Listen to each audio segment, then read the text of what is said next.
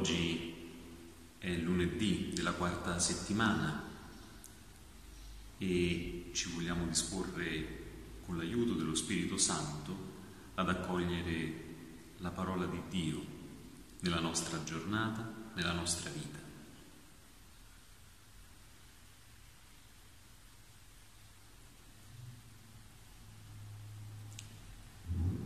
In quel tempo Gesù disse, io sono il buon pastore.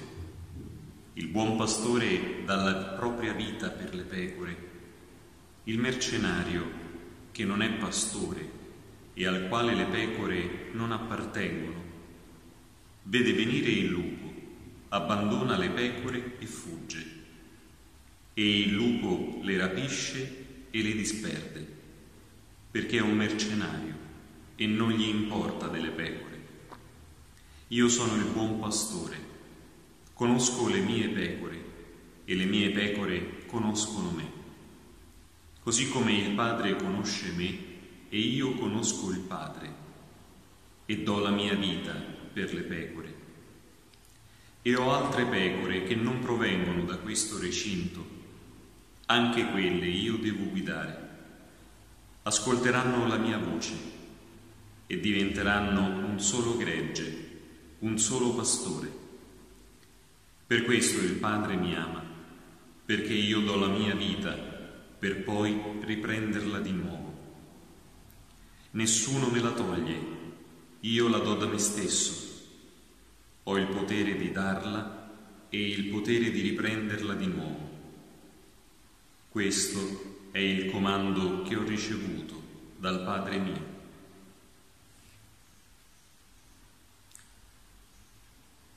Gesù utilizza un'immagine molto cara al popolo di Israele, quella del pastore. E attraverso questa immagine possiamo leggere questa pagina di Vangelo su tre dimensioni diverse. La prima è la mia relazione con Dio. Molto spesso nella mia vita faccio esperienza di persone a cui non importa niente di me. Dio è colui invece che si presenta come l'unica persona che non vuole fare interessi su di me, ma io sono il suo unico interesse. Lui si interessa a me. Non è uno che non gli importa di me, come tante volte ho sperimentato nella vita, ma a lui di me importa. La seconda dimensione che la pagina di Vangelo di oggi ci permette di andare a guardare, grazie a questi lupi che arrivano ogni tanto nella nostra vita e che ci permettono di vedere meglio la qualità delle relazioni che viviamo con gli altri coloro che si interessano a me, che gli importa di me, sono coloro che all'arrivo dei lupi non se ne vanno. Queste sono le vere amicizie, questi sono i veri amici, quelli che restano nei momenti di difficoltà. E il Signore è uno di questi. Anche qui molto spesso abbiamo fatto esperienza di restare delusi da amici o persone che pensavamo tali. Il Signore non delude mai. Il Signore resta sempre in quei momenti. E se guardiamo indietro alla nostra storia, vediamo come anche in quei momenti Lui era lì e accompagnava ciascuno di noi ad attraversare, a vivere quel momento così difficile. La terza lettura che possiamo dare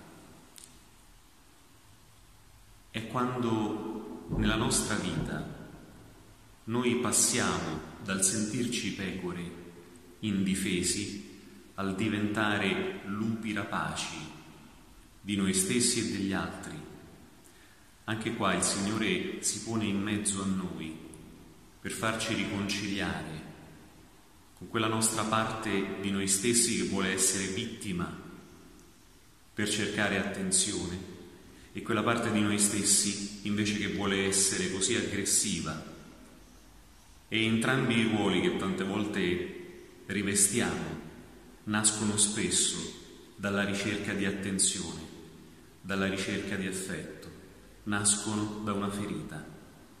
Il Signore è colui che si pone in mezzo a queste due dimensioni di noi stessi per farle tornare a dialogare, per farle tornare a stare insieme, perché Lui è quell'unica forza che unisce e che non disperde.